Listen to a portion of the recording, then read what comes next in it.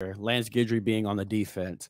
He likes an explosive physical style where he's he likes versatility and he just likes to get after it.